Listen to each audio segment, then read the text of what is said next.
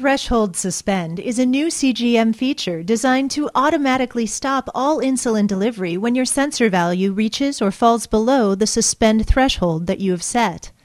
The suspend threshold can be set based on your needs.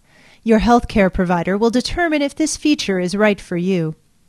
Let's take a closer look at how it works.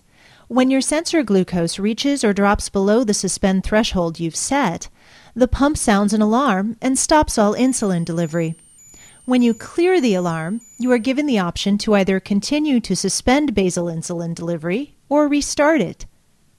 If you do not clear the alarm, the alarm will continue to sound, insulin delivery will remain suspended for two hours, and your pump screen will display an emergency message.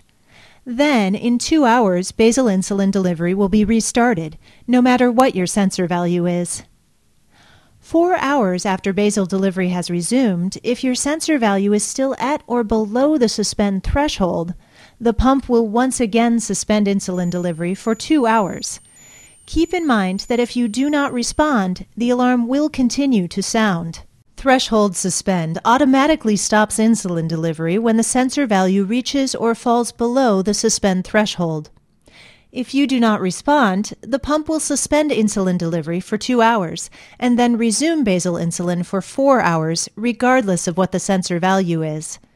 Remember, during the two hour suspend, you have the option to continue the suspend session or to resume basal insulin. For more information on the threshold suspend, review your MiniMed 530G system user guide. If your healthcare provider has instructed you to use this feature only during the night, you'll need to turn the feature on and off. An easy way to remember to do this is to turn Threshold Suspend on when you're calibrating before bedtime, and to turn it off when you're calibrating before breakfast.